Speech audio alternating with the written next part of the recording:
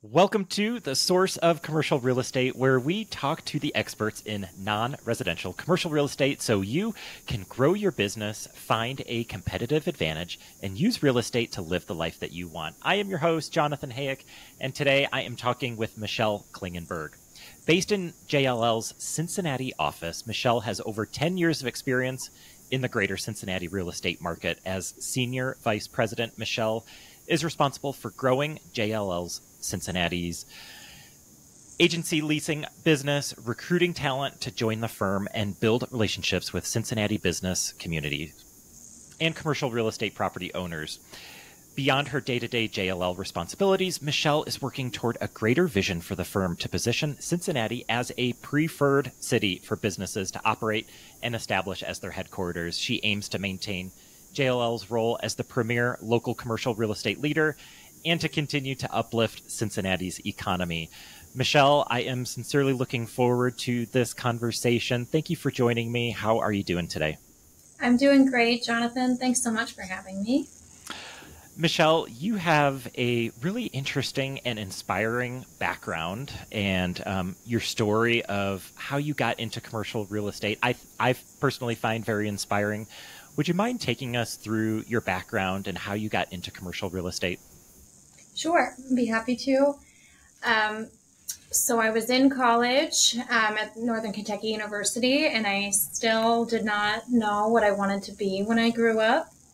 So, um, talking through options with my parents, my mom worked at Procter and Gamble. She was on the facility side um, for JLL on the P&G account, and she said, "Hey, we have a position. It's as a lobby receptionist at um, Procter and Gamble, but it was a JLL position. Why don't you come do that until you figure out what you want it to be?" So I did that part time, um, and then I went to HR soon after and was like, "Okay, I really like this company. I love everything that they're doing. Um, I think I can really provide some value here and do bigger and better things for the company. What else do you have for me? And at the time, everything was under my mom's umbrella. You know, she ran a big portfolio, so I couldn't advance up the chain under her. So I went to HR and they said, you can come work in our brokerage office and, you know, you can interview over there for a marketing position. I didn't know what brokerage was. Um, that was new to me. Um, but I said, okay, great. Love the company. I'll figure it out. So I did, and I interviewed, and they said, can you help us kind of elevate our properties? They explained what they did. And I said, yep. Did that for about two years, worked under the brokers and the senior brokers in our office for industrial and office mainly. And soon after, I was like, this isn't that hard. I'm going to get my license and um, become a junior broker. So there was a position for me to go under some senior leads in our office, and um, that's how my that's how I came about into the brokerage world. Michelle, can you talk about um, you know that was over ten years ago? Um, so can you talk about along the journey? Have there been mentors or other people, either within JLL or outside of JLL, that have been impactful and instrumental in you rising to the position that you're at now? Absolutely. Um, so, mentorship has been so important to me because without it, I wouldn't be where I am today. So, my mother was certainly my first mentor to get into um, the company and into a career. And then once I became a broker, I really had to rely on some senior brokers to show me the ropes. Um, it's kind of a sink or swim out there, and unless you're lucky enough to have somebody to teach you um, what you're supposed to be doing every day, it's tough. Um, so I had some senior brokers that I felt like I could also help at the same time. So it was a really good working relationship. Um, when you graduate or get your license, I'll say um, your real estate license, they really only teach you about residential. So without someone there that can kind of take you under your wing and say, this is how you're going to see a deal from start to close, um, you, you need that. So I'm working really hard to give back to those who have um, mentored me along the way and set me up for success because I want the same for those that I mentor now. You mentioned um, adding value to some of the senior brokers that um, helped you. Um, as they were mentoring you, you would also help them. Um, what are some of the ways that you added value or helped those senior brokers that were helping you? Yeah, so at the time, um, brokerage seemed to be very, it was all about the transaction and it was very black and white. And there were companies that were you know, just looking for the best value for their real estate. And I do feel that as a young female coming in to help some of these, um, we'll call them senior males who may not have had um, a creative outlook on how they can market their property to appeal um, to the companies who are looking to grow talent. So I felt like I was at a similar age at that time that I could say as a young employee, this is what I would like to see. So it was um, just a different vantage point that, um, and so that part for sure. And the other just being, I felt like I could bring some organization to their process. You know, when you look at how they've been doing the same transaction deal flow for the last 30 years of their career, it's taking a step back and saying, okay, well, I think we could do this a little differently. So. I really enjoy um, talking with and interviewing females in commercial real estate uh, because I'm with you. I think um, females can just bring a different perspective, a different skill set, and a different way of looking at scenarios that some of the uh, the alpha males might struggle with, and and um, so I know, you know, you've experienced a great deal of mentorship from others, and I'm sure now that you're in your role, you're passing down mentorship to others, and I imagine trying to get more females involved in commercial real estate. Can you talk about, in your experience, what makes a good mentor? What makes the great mentor stand out to you? So I, I hope that I am living by what um, I think makes a great mentor, but I think first and foremost is it has to be a two way street. So I'll give you my time and hope that I would get some tidbits from them as well. So the same things that I was providing to my senior mentors early in my career, I also like to hear from those that I mentor what I could be doing differently, you know, because now I've been stuck in my kind of role for several years. Um, also, the young and up and coming into the commercial real estate field, they're really good at tech. And while at one point I thought I was, you know, the most hip with tech in my office, tech changes so frequently. And um, I do feel like incorporating tech and social media, for example, into our everyday business is something that we could really lean on to have some younger mentees help with for sure. Um, but so giving time, I think, is a big deal. And then making it two ways, making sure that they also feel like they're contributing to this relationship. Um, and I never want anyone to feel like they can't come to me if they have questions and I'm available at any time. So we do a lot of coffee meets and a lot of phone chats for sure. I also bring them with me. So it's good to see like touring office space and hearing what different prospects are looking for. It gives them kind of a glimpse into a day in the life, which is different every day, which is why I love it. But um, I'm an open book. So it's like whatever you need. If you want to come along or if you just want a high level, I think that's helpful. And just in the few minutes that you and I have been talking, you're clearly someone that's easy to talk to. And so I find that you know, in mentors that I've had in my life, that's also something that, you know, you can't quantify. It's just like, wow, Michelle, like I know I can go to her for anything and she's not going to judge me and she's not going to, you know, come down harsh on me. Um, so I, I imagine that's a great, uh, a great attribute that you have in, as you mentor others.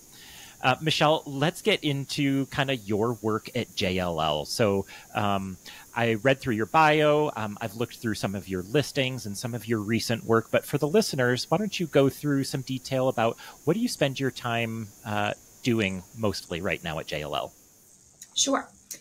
Um, the majority of my business is in agency work. I represent a lot of landlords, probably over 100 active listings in Cincinnati right now. It's my passion. Um, I certainly can sprinkle in some tenant rep work, but agency is where I feel I thrive. I love um, a deep connection with with each one of my clients, and I feel like I know and understand their goals, and their goals become mine too. Um, so I feel like we work really well together with my clients, and the other is the other brokers in the market are my clients as well. I treat them like that. Um, I have a really good relationship with all of the tenant rep brokers, and I feel like they all know they can bring their client to my building, and I'm going to mother that tenant, take care of them, and they can kind of relax a little bit. They don't, you know, I'll make sure nothing slips through the cracks, and I feel like that's um, helpful in the agency side. So mostly agency business. Um, just recently, I started growing my own agency team. So that's been new for the JLL office. Um, I'm on a team of five, and there's three of us that focus on office agency. And we work really well together, and it's kind of running like a well oiled machine. We all have our place. Um, most of my days are spent showing space. I pretty much work out of my car. Um, and I do proposals all day long, and that's really that's really it. Great. Well, I am super interested to hear. I mean, it sounds like you are in the trenches, particularly in the office world. So I would love to get your thoughts on, you know, from a 30,000 foot view, um, and I know you can only speak to uh, you know the the Cincinnati market, um, right. so that's totally fine because that's that's where you're that's what you're experiencing right now. But give us a thirty thousand foot view. Um, what are you experiencing as you're showing office space all day? Um, kind of what are what are your thoughts and what patterns are you seeing right now? So I'll first start by saying, um, contrary to what you may have read, office space is not dead. We are so busy. Show space all day long. And I will say that since COVID, um, and I hate to keep referencing that, but there's just been such a shakeup in our market. So office is alive and well, it's just different. So we are seeing so many companies now like, okay, we know our plan moving forward, and I do think that the hybrid model is here to stay. I don't think that's going anywhere. Um, but in Cincinnati, at least, the companies still have to have some sort of presence. They need to have some office space. It's just um, not as dense as it was, and their teams may be coming in on different days. And I think the space is most of them are being used as more collaboration space and they still do their home their heads down work at home and then they come into the office to meet and collaborate and I think it's a really good mix. So a lot of what I'm seeing in the market right now, it is a downsize, um, but it's not a bad thing. So I call it a right size actually. Um, and companies want to be where their employees want to go. So at one time where a financial where financial was the main driver about real estate, now it's more about the vibrancy of the space companies want to make their office better than any work from home situation. So fully amenitized, having a fitness center, a place to go eat, walkable, really, um, that's been the driver. So, all of our Class A fully amenitized spaces are doing really well. And that's what's going to come down to our owners, whoever's willing to invest in their building and provide these amenities for each of their companies are going to be the ones that do well and come out on top. Okay. So that is that's really helpful. Um, it seems like there is this almost like a dichotomy from Class A. Um, we've been hearing that Class A is doing really well, and of course, the media um, and the headlines will say, you know, paint with a broad brush. Uh, all office is doing terrible. All office is in the toilet, and um, you know, we in the industry know that that's not true, and that there's a lot of nuance um, based on the amenities and and the type of structure it is. Um, so, talk to you. Represent over a hundred landlords you've got to have some space that's sitting or that is not desirable that you're get maybe you're getting showings on maybe it's priced right but for whatever reason it's sitting how are you advising your landlord owner clients that have space that's sitting so basically showing them trends of what these other buildings are doing that we can recreate. So, putting money into the lobbies, putting money into the tenant lounges, adding some sort of food element, um, the fitness center, trying to invest money into those types of um, amenities on site is really helping um, quite a bit. Um, the other thing is, it's just it's going to come down to location. So there's going to be some buildings where you can do that all you want, but if it's not in the right spot, they're still going to struggle. Mm-hmm. Yeah. Um, can you talk more about the types of spaces that are transacting um, and what types of spaces are sitting? It sounds like highly amenitized, great location. Um, those spaces are moving. Um, any other thoughts in terms of you know what landlords can be considering if they know they've got they're anticipating some vacancy or they have some vacancy? What what other advice would you share? So the first impression is my number one thing that I say um, to each one of my landlords when we're getting space back. A lot of times when we're getting space come back on the market, a tenant has been in there for five to ten years and it doesn't look pretty anymore. So sometimes pulling up the carpet and painting all of the walls a white or light color um, really goes a long way because as soon as you bring a prospect through that space, you're going to be discounted if they can't see through its existing condition. So it might include proactively opening up some walls and making the space feel a little more inviting and um, able to be reused for other people's use, for sure. Great. Yeah. How about, um, I'm sure you have some interactions with tenants. Um, can you talk about either in your showings or feedback that you're getting from tenant reps? Can you talk about what are tenants looking for? We've, um, you know, we, we have hit on that a little bit, but what sort of feedback are you getting from tenants in terms of what they're looking for, um, and in terms of space and amenities, but also timing, pricing, TI. What are what are tenant expectations right now? Yep. So majority of the tenants, their big things are now employee driven. So what my employees want. Um, so on top of all of the amenities, they also, some of them at least, want something quick. So really cool space, they may not have a long runway that we used to work with um, in the years past. So our spec suites are doing great. So anytime an owner proactively goes in and builds out space and furnishes it, those have been going pretty quick. Um, in addition to some of our really high end sublease space, because it's move in ready, they don't have to think about it, and the furniture is existing. So it's kind of like a plug and play. So those are well. Employees are also really focused about accessibility and how close the new building can be to each of their employees' homes. So that's something I'm hearing quite often. In addition to move in ready, they want to make sure that it's close to, they want it convenient um, and cool. They just want it to be like a place that you want to go hang out at. So,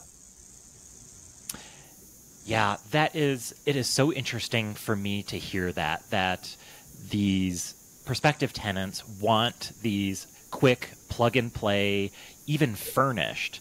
Uh, because I mean, correct me if I'm wrong, but historically, a lot of tenants want you know they want to be responsible or they, they at least want to say in the build out and the furniture and how everything is going to look and how everything is going to be arranged and it's it's interesting to me that there's a growing demand for um, people wanting quick you know a quick turnaround on the lease and to be able to move right in in a furnished space.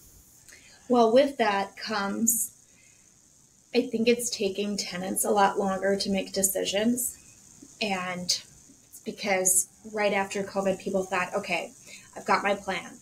And then just last year it was like another blip of wait do we? Is this really what um, we think we should do? So it's almost like they've waited so long to make a decision. So I think that is a main driver of the quick occupancy need. They don't have as much time. I think they may be up against a lease expiration. And even then, we're still seeing a decent amount of we still need to kick the can down the road. So kind of all over the place, but um, it's, it's still good. I mean, companies are still transacting. It's not like the entire market is just saying everybody go work from home. That's not that's not what's happening. Thank you. And are you I've I've heard from uh, from brokers in other asset classes that they are seeing an increased amount of short-term leases, like mm-hmm. even 6, 12, 18 month leases, whereas the historical norm is three, five, seven, 10 year leases. Are you seeing any of that in your experience, especially with what you just said about, um, you know, tenants being a little unsure about where things are headed? Are you seeing any trends in shorter term leases? Absolutely. And that also goes back to the spec suites because, you know, ownership doesn't have to spend a ton of money money to suit your needs, we can go on a shorter term lease. So that is definitely a driver. Also, construction costs are really expensive. Um, so right now, it seems like they want short term. They'll pay a premium, but the construction costs are so high. So there's kind of a balancing act of which do you prefer a short term and then you can go find some space that you can move in quick and occupy quick. Um, but if you want it built out to your needs you're going to have to take a longer term. And we're, we're still seeing companies that are willing to sign seven and ten year leases because they know they've, they've got their plan they figured it out they know what they want to do um, to bring their employees back to work I've heard that there's um, a big difference between um, well located suburban office versus downtown office. In your experience, in all the showings that you're doing and, and what you're seeing get leased, are you seeing a difference between well located, highly amenitized suburban office versus the downtown central business district office? So it's interesting that you say that. I had a conversation about that this morning. And I have a little bit of a different opinion. Um, I would still say that the buildings that have positioned themselves with all of the amenities and in the correct spot um, to be highly walkable are the ones that are doing well. And in our market, that is suburban and downtown. So we have plenty of downtown activity um, where companies are still willing to pay for parking and want to be downtown. Um, because those buildings are well positioned with their amenities. So in Cincinnati, we kind of have the best of both worlds. It's, it sounds like a great market for office to be in. Michelle, um, you recently worked on a really interesting project, um, I believe called the Strietmann Center. Correct me if I'm saying that incorrectly. Um, but I think uh, from what I read about it and from what I saw, it sounds like it it, it, ticks a lot of the boxes that we've been talking about. So um, I'd love to hear a little bit more about this project that you were heavily involved in leasing up. Can you tell us about the Strietmann Center, where it what where it is, how you got it leased up, and and what made it so attractive to get leased up? Yeah, I would love to. So the Strietmann Building is one of my favorite buildings, and um, that I'm really proud of. So I ownership of that building, bought it in a submarket. It's called Over the Rhine or OTR. And when she bought it, it was um, not a great time and not a very safe area. Um, the Strietmann building was the old Strietmann Biscuit Company and the bakery. So they made like Zesta crackers and the first Girl Scout cookie there. And she remodeled that building into creative office space. And this particular owner has a very unique eye for what creative office could be. And I would say was ahead of even the Cincinnati market and created this um, very hip um, exposed ceiling type of vibe with really high end finishes. And it was the first building that we've had in Cincinnati that was anything like it and demanded really high rates. Didn't need to budge off of it um, much and has been highly, highly successful. So the building's at 98% occupied right now. Um, we have one small space left and it is um, doing, it's doing great. So you characterized the setup as creative office space. Can you go into a little more detail about what creative office space means in Cincinnati and who the tenants are? Is it is it more of a co-working space or is it uh, more of a smaller suite style or is it leased to larger spaces? Can you explain a little bit more about that? Sure. So each one of the footplates, footprints, they're about 15,000 square feet. We have a rooftop that has some event space um, on it and a rooftop deck with views of the city. All of the ceilings are exposed. It's a very light and airy feel with a lot of windows. Um, also, the windows are operable, so you can open and close them, which is unique for our market. Um, but it was really good. You know, fresh air was great. He did like a mother's room in the basement, and showers and lockers were right next to a really big gym facility in the city. So, just positioned around all of the restaurants and we just brought a coffee shop onto the first floor that ownership built out to bring the amenities to the building. And it's situated in an area where all of there's a lot of apartments and condos and young talent. So most of our tenants are the creative feel marketing types um, startups um, that are trying to attract that young talent. So we found that if you are right next to where they live, they also want to work and then go get, you know, happy hour drinks right after. It's all walkable and it's been in a good spot for her. So you mentioned that the spaces are divided up into 15,000 square foot spaces. Is that per floor or are there multiple tenants per floor? And did you have any issue getting 15,000 square feet leased up there? So, no. And we've had each one of the floors are 15,000 square feet. It's a seven story building, and the majority of them are full floor users. And then there are a few floors, one, two, and three, where they're split into 5,000 square foot bays. And some of the startups that I referenced, they're the ones who have taken 5,000 square feet at a time.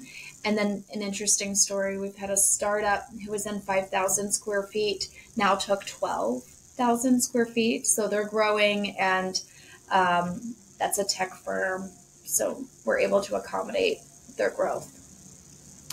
I'm curious. Um, well, yeah, before I go there, um, I did. I looked at some pictures of this property online, and it is quite a striking property, uh, particularly on the interior. Um, I think the the designer took some, um, yeah, a lot of creativities. I think she took some inspiration from the original Cracker factory.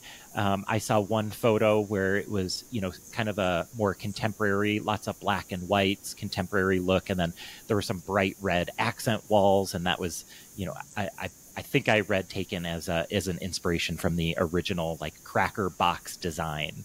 Um, yes. And so just some really unique elements, and people love that stuff. Some exposed brick and exposed ceilings, like you had mentioned. So um, seems like a really unique, uh, unique property, and and obviously very desirable. And sounds like you did a great job of marketing it and getting it leased up. Um, on the on the other end of uh, the Class A, you know, kind of some larger footprint stuff. I'm curious about co-working. Um, yeah. There's been a really, you know, uh, a trend over the last, you know, five to ten years. I'm wondering if you are seeing um, any patterns, or if you know you're involved in the co-working space at all, where maybe someone would lease up a small office or a desk in a in a larger office. Yes, absolutely. So I do have some co working tenants in some of the buildings that I represent. I don't personally um, lease for the co working companies, but they're doing really well. And I think a lot of that is driven by some of the smaller sales offices, for example, in our market that don't really need a couple thousand square feet for their own office. They just need a touchdown spot. Um, they've done really well picking up those one-off employees that don't quite need their own office um, and even companies who don't need their own office they just need like a satellite location and back to the amenities a lot of the co-working places have just as many amenities as a full building so it's like people like to go hang right like a coffee shop in there yeah makes a lot of sense yeah. um, Michelle, as we get ready to wrap up here, I want to ask you about challenges. Um, so, first, as the you said, you represent over a hundred um, tenant, uh, excuse me, landlord owners. Um, so, what sorts of challenges are your clients facing uh, right now in this market? So, we do have some challenges, and I will tell you, deals are just taking longer. So um, the whole process of getting a deal done from start to finish, where we used to be able to complete a transaction in just a couple months. Now decisions are taking a lot longer.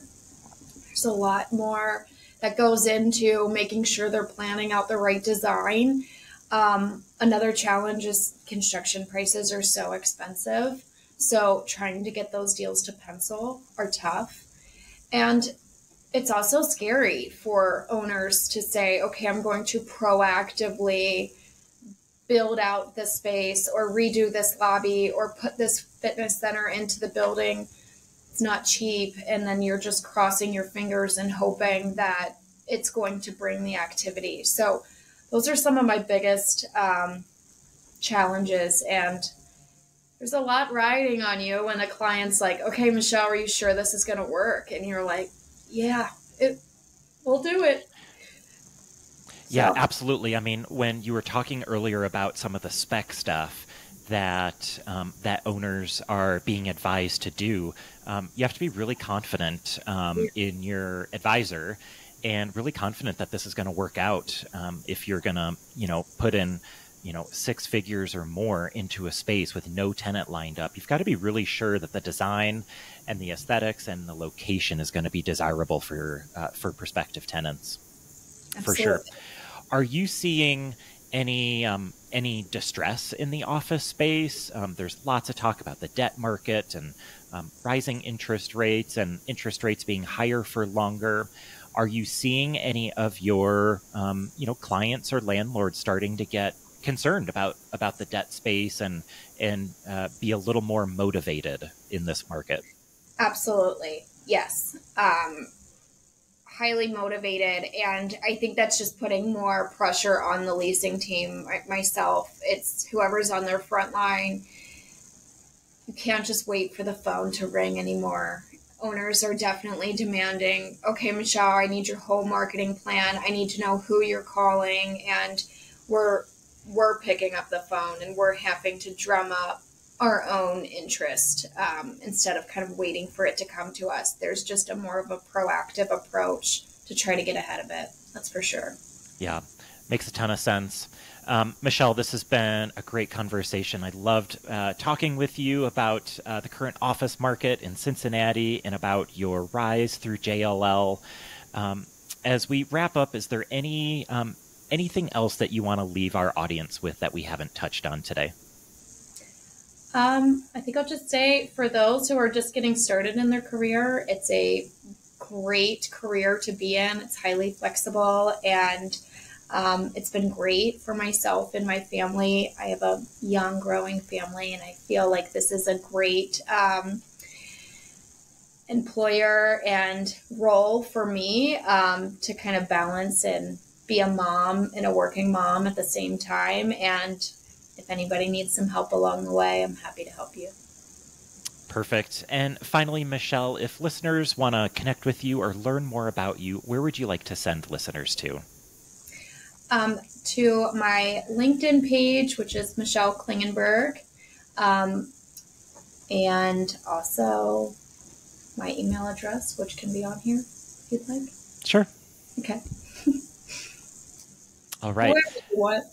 yeah, I'll provide uh, links to the her LinkedIn page and her uh, email address are in the show notes. So if you'd like to reach out to Michelle, um, look in the show notes. Michelle, thank you so much for taking the time out today.